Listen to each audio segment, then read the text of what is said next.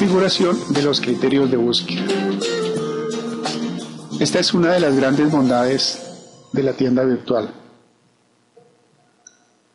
como lo veremos a continuación, la configuración de los criterios de búsqueda.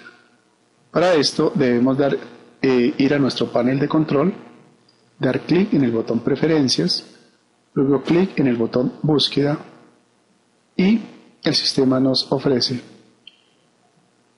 este formulario de configuración. La primera opción es la más importante. Ajax Shares.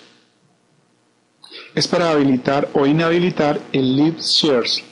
Live Shares es una aplicación Ajax eh, desarrollada en JavaScript.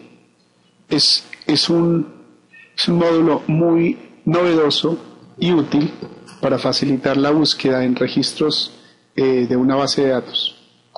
Bien, veamos cómo funciona esto.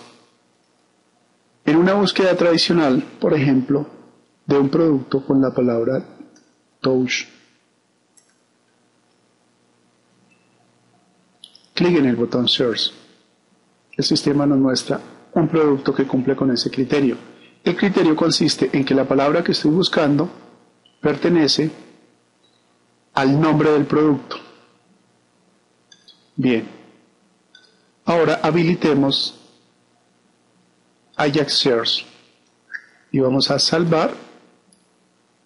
Luego entramos a nuestra tienda de prueba, actualizamos y hacemos la misma búsqueda. Veamos lo que ocurrió.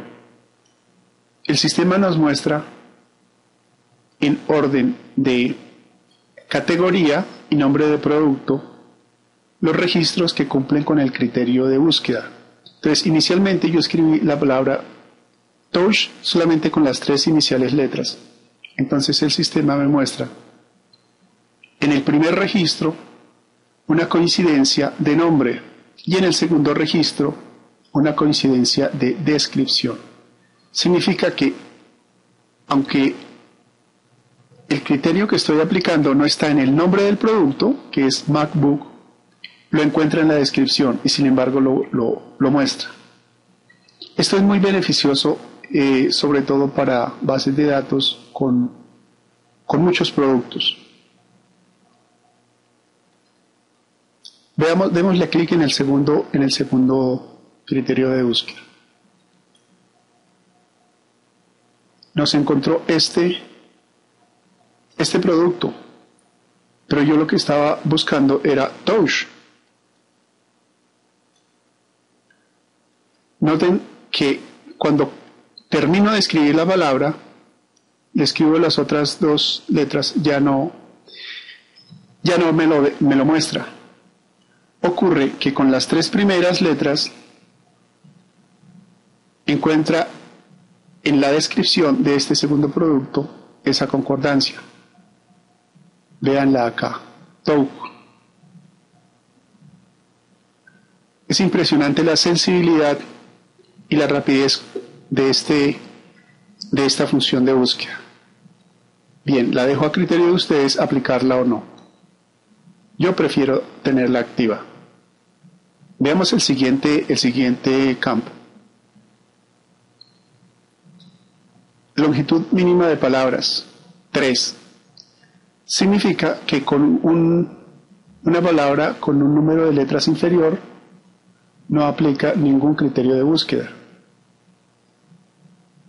Hagamos el mismo ejercicio. Noten que escribo to y no pasa nada. Apenas escribo el tercer carácter, entonces el criterio se aplica. El siguiente campo es la lista negra de palabras. Si yo quiero eh, restringir la búsqueda en mi catálogo de palabras, entonces eh, simplemente las escribo acá y las separo por el carácter pipe. Mm, en la práctica pues no tiene mucha, mucha utilidad, pero hay particularidades que sí la requieren. Lo que sigue es el número de letras mínimo para un nombre de producto para que sea tenido en cuenta en el, en el buscador. El constructor aplica el criterio de búsqueda en todo el catálogo, vale decir, en el nombre del producto, la descripción, eh, los fabricantes, el proveedor, las categorías, etc.